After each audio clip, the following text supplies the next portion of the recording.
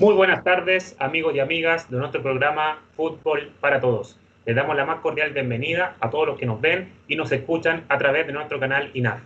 Nos gustaría mencionarle que estas exposiciones y conversaciones están orientadas a tratar diversos temas de fútbol en un contexto de mucho análisis, mucha reflexión junto a nuestros invitados, quienes son los encargados de contextualizarlos y llevarlo a la práctica en sus clubes y o selecciones que dirigen. Amigos y amigas, quiero dejar con ustedes al profesor Luis Rodríguez, director de la carrera de entrenador de fútbol del Instituto Nacional del Fútbol. Profesor, muy buenas tardes. Buenas tardes, Eduardo. Eh, en primer lugar, quiero saludar a todos quienes nos acompañan en nuestros programas Fútbol para Todos.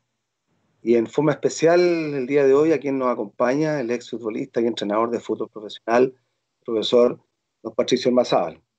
Como ex futbolista, tuvo una destacada carrera a nivel nacional en clubes como Universidad Católica, Universidad de Chile, Huachipato y Curicó Unido. A nivel internacional, militó en San Lorenzo, Arsenal de Argentina y en Dorado de Sinaloa en México. Como entrenador de fútbol dirigió en varias categorías del fútbol joven de Universidad Católica, debutando en el profesionalismo el año 2019 dirigiendo a Magallanes. Hoy en día entrenador de la Selección Nacional Sub-20 de Chile. Profesor, muchas gracias por estar con nosotros. Muy buenas tardes.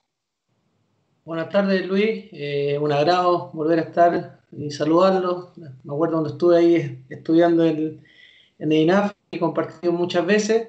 Saludar también a, la gente de INAF, a toda la gente que trabaja ahí. Saludar a Eduardo también y cordialmente a todos los alumnos que están escuchando y, a, toda la gente que sintoniza el, el, canal de INAF. Así que un gusto saludarnos y, y poder tener esta conversación de lo que ha sido un poco mi formación como técnico y, mi experiencia y evidencia, poder compartirlas con ustedes y, conversar de fútbol, que es algo muy lindo que, que nos gusta a todos.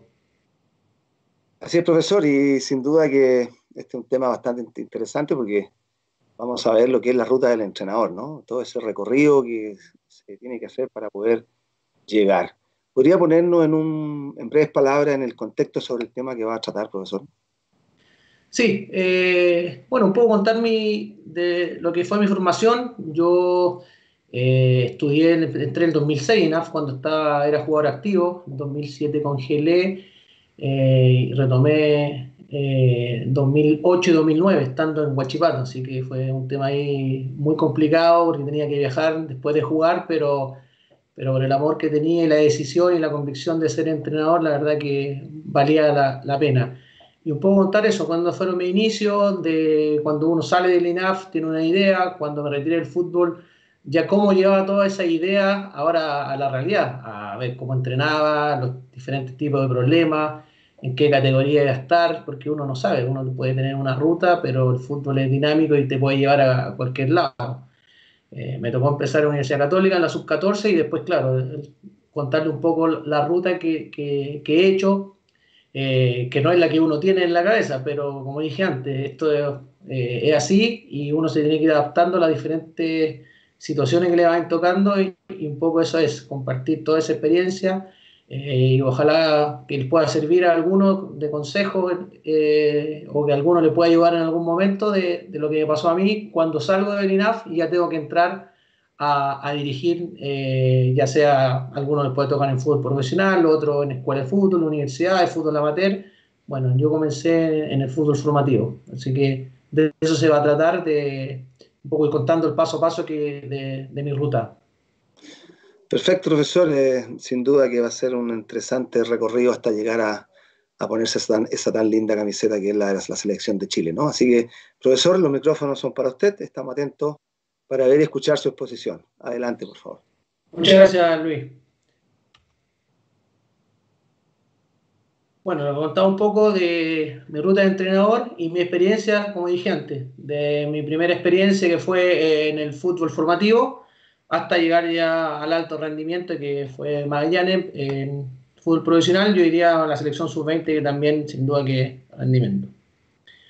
Aquí contar un poco las distintas etapas que tuve. Eh, aparte de, mi etapa formativa, también dentro de mi etapa formativa eh, tuve un paso de, interino en el primer equipo de la Universidad Católica y también tuve tres ayudantías en el fútbol profesional. De eso vamos a hablar en esta presentación. En la etapa formativa llegué a la sub-14, eh, pasé por todas las categorías, 14, 15, 16, 17 y 20 de fútbol formativo. Y aquí quiero dividir un poco de las primeras experiencias. Como comentaba antes, eh, uno sale, ya, yo terminé el INAF, seguí jugando y cuando salgo de jugador digo, bueno, tuve un tiempo libre para estar con la familia, para pensar, y me llega la oportunidad de, entrar a dirigir una sub-14. Entonces, claro, una cosa uno lo que uno estudia, pero ahora ya llevarlo a, la realidad, a, a, las primeras experiencias, eh, los primeros entrenamientos en estas categorías sub-14 y 15, todavía con jugadores eh, muy dóciles, con mucha energía, eh, muy respetuosos del entrenador en general, eh, con mucha ganas y aquí yo empiezo ya a, ver lo que quiero, a plasmar mi idea de juego, todos los entrenamientos que, me enseñaron, los pasos metodológicos, cómo funcionan, empiezo a probar qué cosas van funcionando mejor. Y claro, aquí por eso se divide en 14-15, como dije antes, es una edad muy dócil y claro, empiezo a entrenar, probando entrenamiento. Eh, las primeras veces me, resulta este entrenamiento bien, eh, esa jugada sale en el partido, uno está contento, está feliz, está muy motivado, muchas ganas. Y claro, y, también empieza la otra parte, algunos problemas, o no problemas, experiencias que uno va teniendo. Por ejemplo, en sub-14, primer año, eh, primera parte quedamos eliminados en playoff, la segunda parte vamos a llego a la final y claro, cosas que uno se va acordando en estos momentos. Estábamos en la final ganando 1-0 de local en San Carlos, estábamos jugando en el estadio y termina el primer tiempo, viene el segundo tiempo y claro, son niños de 14 años. Eh, este jugador hoy es, futbolista profesional. Entonces, estábamos ahí en la banca y tiene un encontrón con un jugador. Eh, y yo le digo, tranquilo, sí, me dice, sí, profe, tranquilo, tranquilo. A los dos minutos eh, le pega una patada a ese jugador, amarilla. Recuerdo perfectamente, estaba el psicólogo al lado mío y me dice, ojo, ten cuidado que yo lo conozco, carácter fuerte. Eh, yo, yo lo sacaría, me dice, me hace un gesto. Le pregunto al jugador, ¿cómo estás? Bien, tranquilo, no pasa nada, vamos ganando, que tranquilo. Sí, profe. A la jugada siguiente, codazo, eh, bueno, lo terminan expulsando, eh, terminamos perdiendo la final por penales y bueno, pero esas son las primeras experiencias que uno va teniendo, que muchas veces cuando uno estudia y se prepara, eh, esas cosas piensan que no van a pasar o que las va a resolver y, uno no tiene idea hasta que te pasan, pero son las, como puse ahí en, la... En la, en la, diapositiva son las primeras experiencias que uno va teniendo y todo es aprendizaje. Y 15 lo mismo, jugadores muy dóciles, eh, en general, muy buena experiencia. Mi primera charla, como mi primera charla, el nerviosismo, los primeros partidos. La verdad que ahí uno ya empieza a crecer y, a tomar todo eso para lo que va avanzando. Después paso a una categoría ya, como el paso a una 16 y, sub-17, donde aquí ya los chicos ya empiezan a madurar, eh, están más grandes, están adolescentes, ya empiezan algunos a ser nominados a la selección, eso te va produciendo un poco, algunas veces envidia, competencia.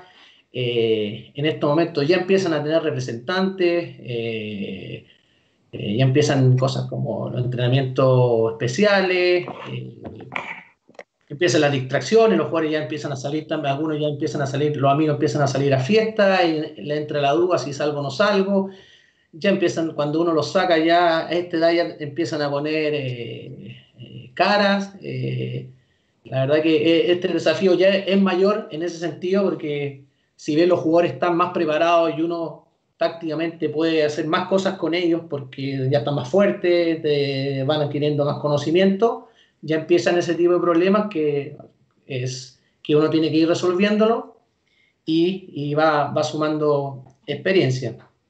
Acá, por ejemplo, también tenemos ya la sub-17, la experiencia que, que le he contado.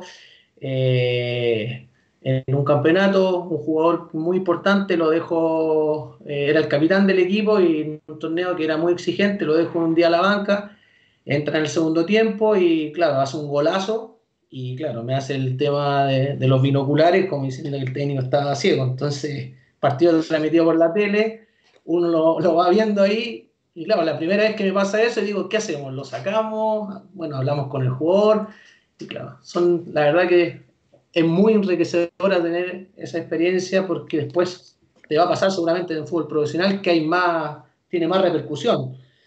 Si bien este partido está transmitido por televisión, uno entiende que, que no tiene tanta trascendencia como ya en el fútbol profesional, pero claro, uno dice, uy, esto me va a pasar después, pasar ahora, ¿cómo resuelvo? Y son desafíos que, que te van pasando y, y, por eso creo que es muy importante eh, a veces vivirlo con chicos más jóvenes. Y después otro tema muy importante, aquí en sub-16, la 17 ya, se pasa a la juvenil y, y hay que tomar decisiones. Las primeras decisiones importantes. En la sub-17, el último año que estuve ahí, eh, tuvimos la posibilidad de ser campeón. Eh, y la verdad que la felicidad gigante era mi primer título. Eh, contento, todos los niños contentos. Y bueno, esto fue el domingo la final. Y el lunes tuvimos que citarlo y desvincular 17 jugadores. Entonces, otro tipo de experiencia, de aprendizaje, eh, juntarme al otro día después de haber ganado con ellos y con los papás, eh, los citamos siempre cuando son menores de edad, con los padres, tener que desvincular 17 jugadores que uno les tenía mucho cariño, que los conocía de 3, 4 años ya, pero bueno, ese es el carácter que hay que hacerse, hay que hacerse hombre, como digo yo, y bueno, dar la cara ser lo más transparente posible y, y, que el fútbol no termine ahí. O sea, nosotros tomamos una decisión, pero que no puede ser la correcta y que el entrenador ya me empiezo a acostumbrar que muchas de las decisiones que tomamos a veces no, no, no son las mejores, no son las correctas, pero hay que tomarlas y claro, es, es una parte muy, muy difícil, pero que es desafiante para, para un técnico puede salir campeón, tenéis que desvincular 17 jugadores porque se mezclan con las otras categorías de la sub-20 y, y, no da por, por, capacidad. Así que son parte de los aprendizajes. Y ahí pongo consolidando el modelo porque ya, ya en esta edad de 16, 17, después de estar dos años en 14, 15, ya yo me empiezo a hacer mi idea, mi idea de cómo quiero que juegue el equipo, eh, ya ir viendo algunos principios y ya empiezo a, a ver mi metodología, que la divido en dos, en la mixta, en la mixta, en que es la fragmentada, que es donde está todo los enlaces, trabajo perfiles, eh, los movimientos tácticos y la parte física, generalmente lo hacemos todo con balón, pero algunas veces también se hace analítico, que son más que nada pasadas y el trabajo de gimnasio. Y la integral sistémica, que son los juegos posicionales, reducidos, fútbol, más que nada ya son los juegos con, con toma de decisiones. Y aquí yo quiero mostrar un poco cómo, cómo ha sido, cómo trabajado un poco. Estas son las pasadas por la espalda o doblaje desde la forma analítica, cómo lo vamos llevando a un juego. Yo voy aquí haciendo mi metodología y en base ya a la idea de juego. Aquí es.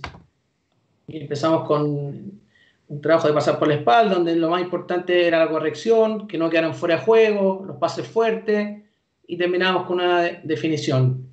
Ahora haciendo la progresión ya con una cancha más real, lo mismo, ya dándole un poquito más de estructura de, equipo.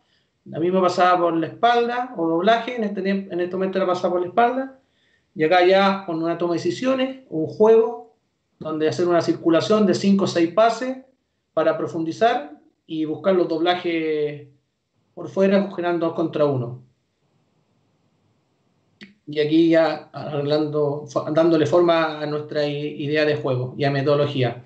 Y acá ya lo llevamos al partido, que después se lo vamos mostrando ellos, que era el mismo ejercicio, circulación,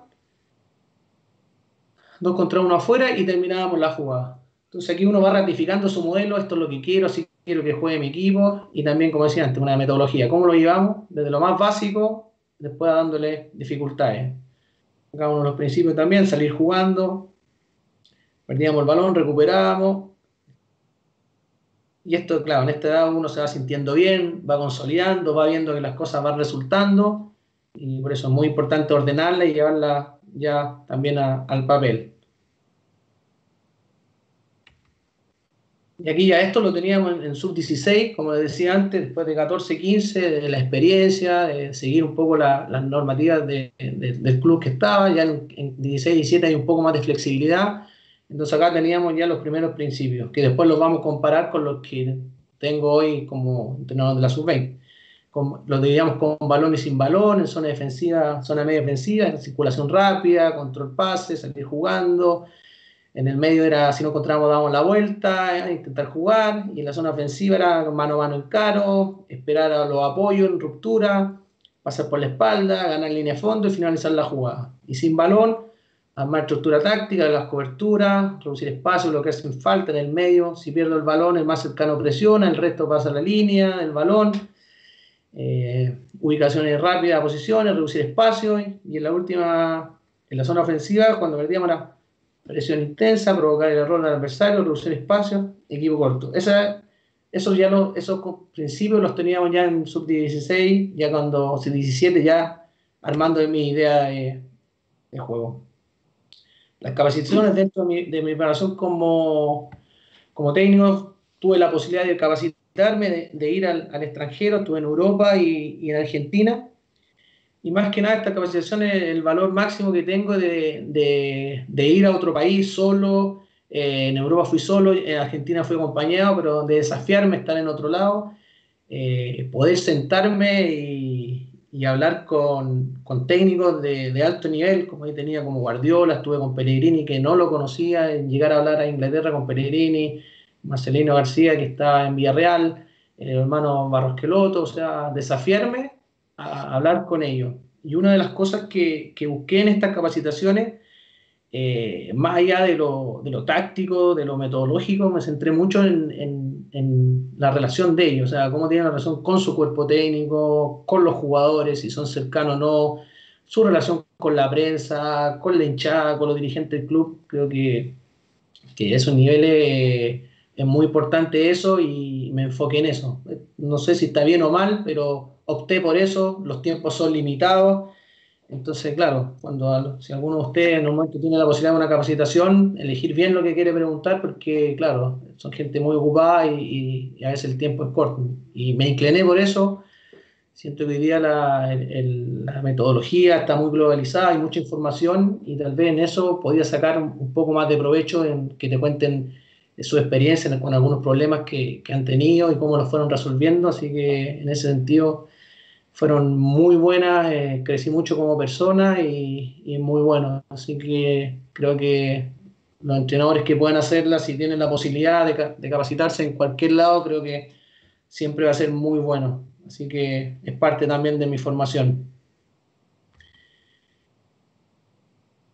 Categoría sub-20. Después, bueno, paso a la sub-20. Lo previo al profesionalismo, después de todo esto, claro, uno piensa, bueno, está en la sub-20 jugadores más grandes ya. Eh, y claro, aquí digo, aquí voy a tener más cosas técnicas, más cosas tácticas, buscar movimientos nuevos. Pero aquí, claro, por lo menos la experiencia que yo tuve en el club que estuve, eh, se mezclan algunas dinámicas que hacen un poco problemática esta, esta categoría.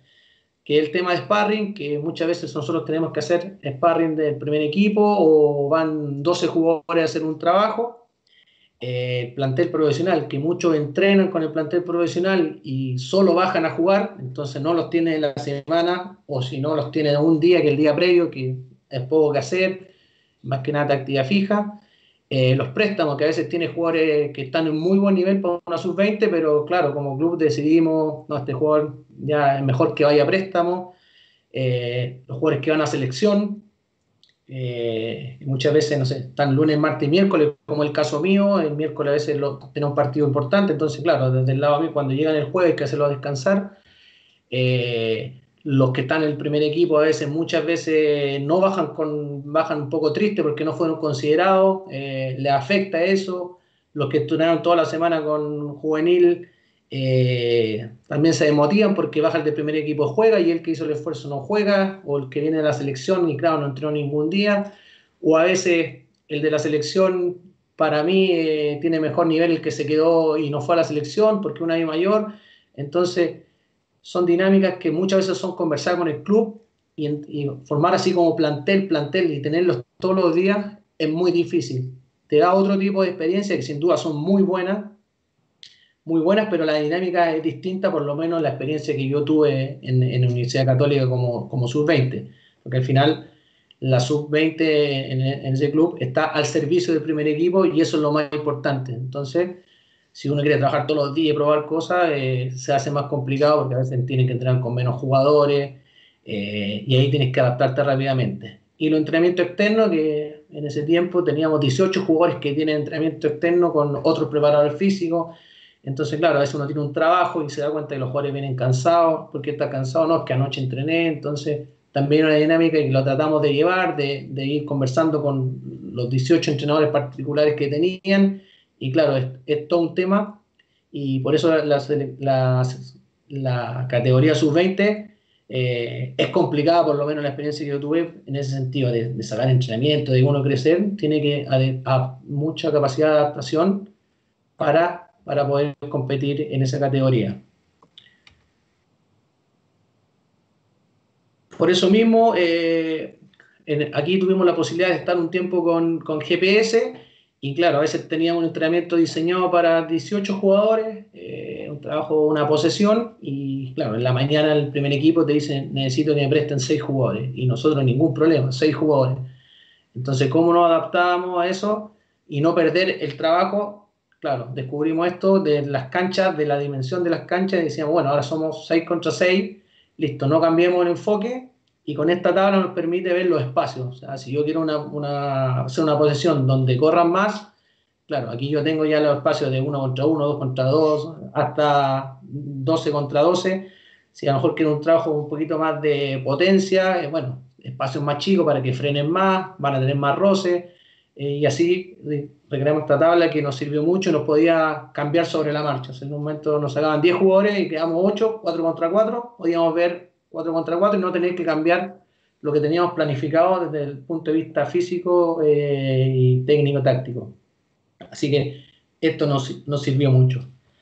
Así que eso fue todo lo, en cuanto a, a, mi formación como, como, entrenador de fútbol formativo y que aquí les quiero mostrar una imagen que es lo que un poco me, me, llena de orgullo de haber sido entrenador eh, del fútbol formativo, que claro, llegué a la sub-14, que era en el año 99, yo soy en el 79, 20 años después, 20 eh, años mayor y 20 años después que yo llegué. Yo llegué al fútbol formativo teniendo sub-14 años, entonces hoy me encontré con esa realidad, llegué a la 14, fui haciendo el proceso completo con los 99 y acá tenemos a Ignacio Saavedra, un jugador que lo tuve de todas las categorías y en este partido él estaba debutando y yo prácticamente me estaba despidiendo porque estaba de ayudante del primer equipo y por eso un orgullo de verlos crecer, de que Nacho en ese sentido entrara al fútbol profesional y de ahí prácticamente no, no, bajó más. Entonces, justo tuvimos la suerte de tener esta, esta imagen que, refleja y lo tomé como un cierre de, mi paso por el, por el fútbol formativo. Esto es prácticamente lo que, lo que todo el orgullo de, un entrenador eh, tiene. Ver a sus jugadores en diferentes. vías Nacho expulsado, los viendo y después poder estar con ellos para, su debut es algo soñado. Bueno, ya mi, etapa como ya entrenador profesional, en este caso de, ayudante, tuve tres, tres periodos de ayudante. El primero fue con Rodrigo Estudillo, eh, un técnico que me llevó a mí al fútbol formativo de la Católica, lo conozco hace mucho tiempo. Rodrigo cuando hizo su, se estaba preparando como entrenador, hizo capacitación en Argentina y se quedó incluso en mi casa, yo estaba jugando ya.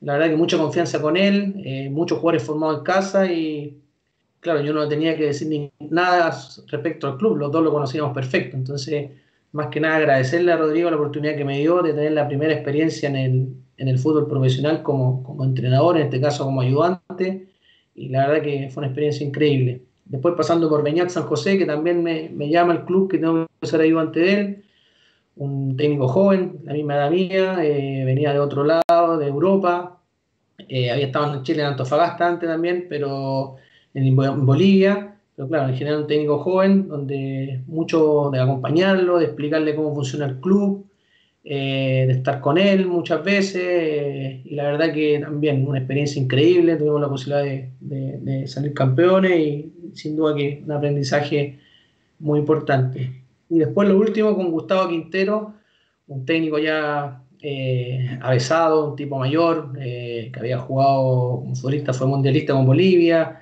había salido campeón en Bolivia, en, en, Ecuador, seleccionador en Copa América, y la verdad que aprendí mucho de él, sobre todo el, tema de la conducción eh, con los jugadores, una muy buena relación que tiene con ellos, y sin duda que un aprendizaje también muy grande para mí, y, la verdad que fue, fue todo muy, muy bueno. Así que esas fueron mis mi etapas como ayudantía y, bueno, sumado a, dos partidos que tuve como interino eh, del primer equipo de Universidad Católica. Y después de todo esto, que, que todas experiencias que tuve como en mi etapa como jugador, en la etapa académica estudiando en INAF, eh, en mi etapa como entrenador formativo y la etapa profesional, sobre todo como ayudante, ya yo hoy definí mi metodología de entrenamiento, el modelo de juego y, y el estilo de conducción, de lo que quiero eh, de mi equipo, cómo quiero que entrenen, eh, cómo quiero que jueguen y, cómo yo me voy a relacionar con ellos.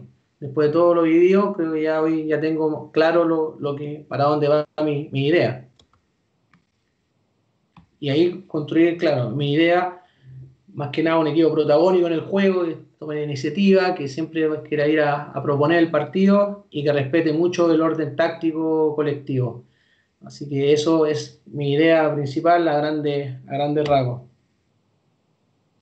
Y después ya mi etapa como primer entrenador, eh, el alto rendimiento. Primero agradecer a, Magallanes, que fue la gente que, me fue a buscar y que confió en mí.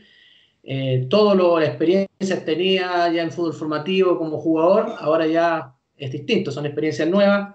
Desde llegar a un equipo a mitad de, en, medio del campeonato, un equipo que, que, no venía bien en cuanto a, puntos, eh, después de tener que contratar tres jugadores, de la posibilidad, mi primera vez que tuve que contratar tres jugadores, cómo elegirlo, eh, la dinámica, eh, cómo reacciona la hinchada, las primeras veces ya en la prensa, la verdad que los resultados no fueron buenos, pero el crecimiento fue increíble, una experiencia única. Eh, vuelvo a agradecer a Magallanes por la oportunidad que me dio. Sin duda que hay que vivirlo, hay que estar ahí. Mm, nos sirve mucho para ver las cosas buenas que hicimos, eh, las cosas que, se pueden, que podemos mejorar como cuerpo técnico. La verdad que un paso corto, pero, pero muy bueno y enriquecedor. Y siempre voy a estar agradecido de la, la primera, el primer club que tuve profesionalmente fue Magallanes, así que la verdad que muy feliz con eso. Yo diría ya en la actualidad el proyecto de la selección sub-20, que bueno, lamentablemente se ha visto mermado por el tema del coronavirus, que bueno, tuvimos solo dos, dos microciclos eh, y estamos en esta aventura, no sabemos qué va a pasar, ojalá se solucione luego este problema, porque el proyecto lo tenemos hecho y, y bueno, ojalá termine luego esto para empezar a darle para adelante y volver a la actividad. Primero mi cuerpo técnico, eh, Sebastián Miranda, eh, ex un jugador de una española, eh, católica, en extranjero y, bueno, era ayudante antes de Nicolás Córdoba con experiencia en Chile como en el extranjero.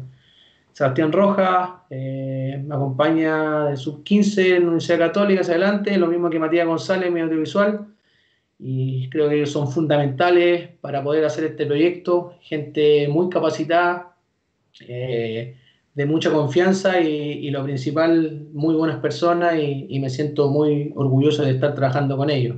Creo que es fundamental cuando uno ya tiene, la posibilidad de formar un muy buen cuerpo técnico, porque en esta, en esta actividad creo que es necesario, son demasiadas cosas y, y uno tiene que estar rodeado de gente capacitada, pero más que nada hay gente que, que te cuide y, que esté al lado tuyo para, para resolver los, los, momentos, los, los, problemas que hay, que en el fútbol son día a día. Después esto ya, bueno, un poco el modelo de juego que tenemos, que estamos bastante alineados con las otras selecciones, que con la 17 de Cristian Leiva, con la 15 de, de Hugo Valladares, que esto lo hemos ido conversando y estamos bien alineados. Eh, la fase defensiva, en la zona alta, presión inicial, orientar la presión, eh, el más cercano presiona, sin pasar de largo, no retroceder, estar firme ahí. Ya en la zona media, si no pudimos presionar, nos replegamos un poco, pasamos la línea del balón, armamos la estructura táctica y empezamos a presionar nuevamente. Y ya en la fase defensiva, eh, cuando nos están atacando, repliegue absoluto, reducción de espacio, perfilado y coordinado para estar atento y bloquear para los remates y no hacer falta porque ya en esa zona eh, los tiros libres son muy peligrosos. En la fase ofensiva, en la zona de seguridad, un inicio claro y simple, circulación de balón, control y pase, seguridad y simpleza. En la zona media, circular para encontrar espacio libre y poder profundizar. Seguimos con la circulación rápida, los cambios de orientación para poder profundizar, cambio de ritmo, ya sea filtrando un balón o, con un, eludir a un jugador y cambiar el ritmo para ir a profundizar. Y en la fase última finalización, obviamente buscar el gol es lo más importante, pero ya si tengo duelo lo busco, centros, eh, remate a media distancia, los de doble interno, interno de los laterales, aparición de los volantes, eso es bueno. Y en la transición ofensiva, eh, jugar con el compañero mejor ubicado, para seguir atacando, o sea, si recupero el balón y hacia adelante, hacia adelante, si hacia el lado, hacia el lado, si le atrás está mejor preparado, identificarlo rápidamente, y el resto, sumarse rápido al ataque y terminar la jugada. Y en la defensiva, en la presión post pérdida de Dimon 2, jugador más cercano presiona y reducir espacio y provocar el error de rival. Ya si la perdemos en zona media o la última zona, repliegue defensivo, retroceder a velocidad y armar estructura táctica rápidamente para reorganizarnos. Después de esto, ya pasamos a, lo que es la preparación de, un entrenamiento. Esto es un microciclo que tuvimos. Eh, fue, tuvimos la posibilidad de hacer una semana completa, donde aquí ustedes pueden ver que esta es toda la parte coordinativa, logística, desde tenemos que coordinar los jugadores que vienen de afuera, en avión o en bus, ir a buscarlo, el desayuno al otro día, eh, a qué hora sale el buen entrenamiento, coordinar todas las evaluaciones eh, en grupo, la psicológica, antropométrica, física, médica, eh, a qué hora vuelven a, la concentración, las colaciones, los videos. La verdad que hay que coordinar muchas cosas y bueno, para eso estamos trabajando y, preparándonos para tener las mejores, las mejores, la mejor parte organizativa para que todo funcione correcto como tiene que ser en la selección. Y después, bueno, está también ya la, parte más eh, específica del entrenamiento, donde también tenemos una programación específica. Y aquí les queremos mostrar un poco en qué consiste la, la sesión. Nosotros ya planificamos la logística, dónde vamos a entrenar, si va a ser en Quilín, si va a ser en, en Riera, si va a ser en Pinturán, si va a ser en, en otra región, eh, cuántos balones vamos a necesitar, todo eso. Cuando ya llegan los jugadores hacemos un check-in, que un check-in es un control de bienestar, de más que nada en cómo durmieron, eh, si tienen estrés, si tienen alguna molestia, eh, cualquier tipo de cosa. después de eso nosotros reconfiguramos, vemos, mira, el equipo puede ir muy cansado, entonces si tenemos cuatro series de ocho minutos, hagamos cuatro series de seis. Eh, podemos ir viendo, o si está, no sintió tan fuerte el entrenamiento, también podemos hacerlo un poco más. Después de eso vamos a los entrenamientos individuales, que más que nada que son eh, prevención de lesiones, si algún jugador tiene algún problema. Después ya nos vamos a la movilidad táctica, que es el calentamiento, las tareas técnico-tácticas, la vuelta a la calma y ya cuando se van, un check-out, que es para ver cómo sintieron el entrenamiento, eh, si tienen algún problema eh, y cualquier cosa. Es un cuestionario que está, que hoy se les manda al celular a los jugadores, los jugadores se demoran 45 segundos en respondernos y así nosotros tenemos ya una información de cómo sintieron, si era estaba dentro de lo que esperábamos nosotros. En eso consiste lo, que es una sesión tipo. Y para finalizar un poco un video de, la evolución que fuimos entre el fútbol joven a... Perdón acá que no se todo esto.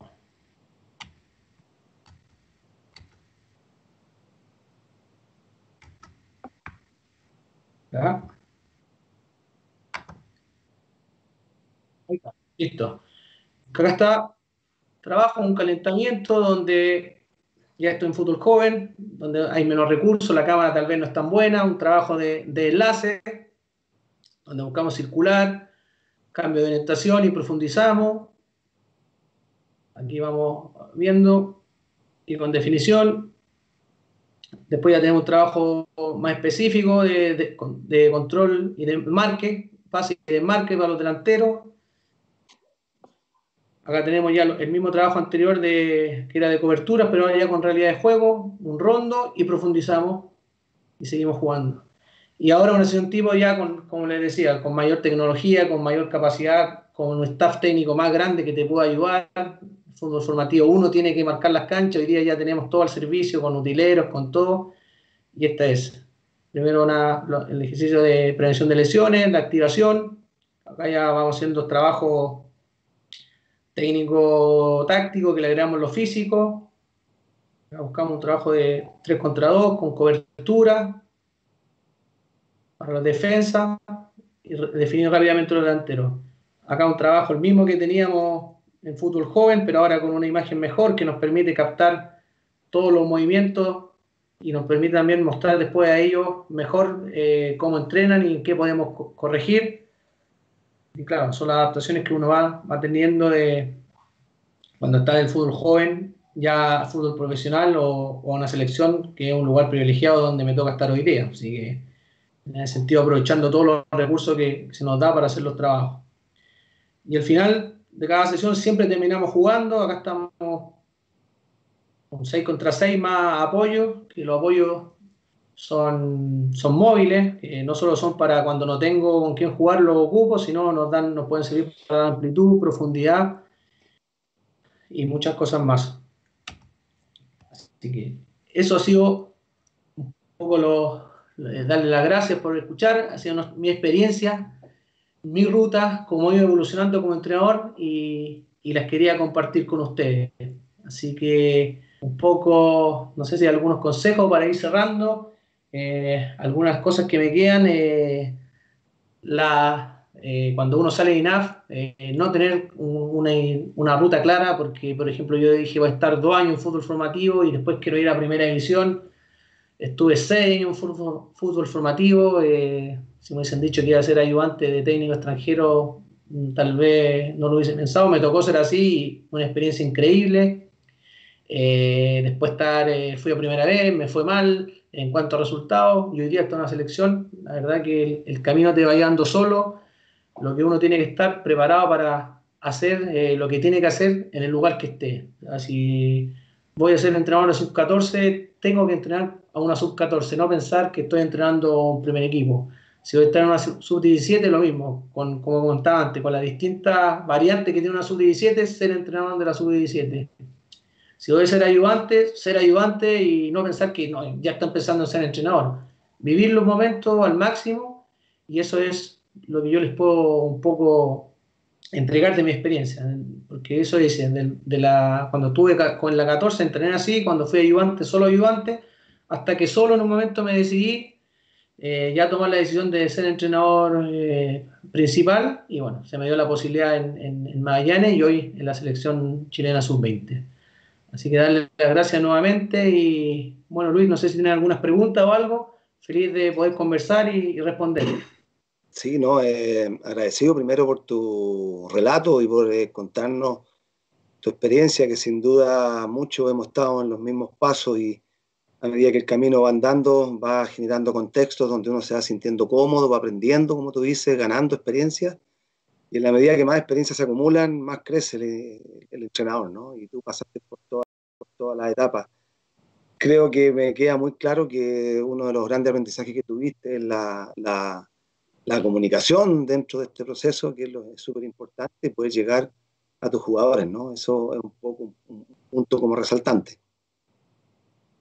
Sí, o sea, creo que la, la comunicación es fundamental en, en todo ámbito y bueno, lamentablemente en el, fútbol a veces, muchas veces cuesta hablar o decir las cosas porque eh, nadie quiere que a uno le, digan cosas, pero es fundamental. Eh, hoy en mi puesto de entrenador sub-20, eh, una de las cosas que hemos visto donde podemos mejorar mucho en ese sentido y sobre todo la relación con los clubes, de, que los clubes son los socios de la selección y no que hay una rivalidad, que, que los forma, que los forma, no, al contrario. Los jugadores son de los clubes, los clubes los forman y hoy día como seleccionador nacional ayudar a esa formación y por el tipo de competencia que, que, tiene la selección, que es un nivel más alto porque tiene que jugar con, con, otras selecciones, sin duda poderlo hacerlos crecer. Y en ese sentido ya estamos trabajando en eso, hemos comunicado con todos los clubes para, para ser lo más transparente posible y todo en beneficio al final de, de los jugadores y como dije antes, los jugadores pertenecen a los clubes y al final si a ellos les va bien, a nosotros también nos va a ir bien. De eso se trata esto. Así es, y, y, el que gana finalmente nuestra Federación de Fútbol y sobre todo el fútbol chileno, como ha sido en estos últimos tiempos. Así que, Patricio, tremenda experiencia compartida, te damos las gracias por el tiempo, por la disposición. Eh, hay muchas cosas que tú planteaste, el sueño de ser un entrenador, uno nace hasta que logra culminar y todos esos atajos que se van tomando. Así que muy contentos, Patricio, eh, eh, por esta exposición, te repito nuevamente, así que muchas gracias por estar con nosotros esta tarde. Muchas gracias, Luis, Eduardo, y nada, nuevamente saludar a, a los entrenadores, a los futuros entrenadores y nada, ánimo. Eh, una profesión muy linda, eh, tan linda como tan difícil y preparado para todo, adaptarse. Hoy yo estoy en un lugar de privilegio, mañana quizás tendré que volver a, al fútbol joven y tener que viajar mil horas en bus, eh, hacer sándwich y hacerlas todas, marcar las canchas, todo. Así que Así es. ese es el camino, tiene ida y vuelta esto. Hoy estoy acá, mañana no sé dónde estaré. Y eso es un consejo para todos, que se preparen, que no se desanimen cuando las cosas no salen, porque con trabajo sin duda las cosas van a ir mejor. Así que saludarlo nuevamente eh, Luis y Eduardo, muchas gracias y, y saludo a toda la gente que, que, nos escuchó, que nos vio en este programa. Saludos. Gracias, saludos. Agradecemos a todos quienes nos han seguido durante todo el transcurso de nuestro programa. También les dejamos la invitación para que ingresen a nuestra página web www.inov.cl y vean todas nuestras carreras y jornadas en las que se imparten. También pedirles que se informen en nuestras redes sociales, Facebook, Instagram y Twitter y que se suscriban a nuestro canal INAF para poder ver este programa y muchos otros que vendrán a futuro. Agradecemos finalmente a nuestro invitado, el profesor Patricio Ormazábal, y a nuestro moderador, el profesor Luis Rodríguez. Muchas gracias a todos y nos vemos.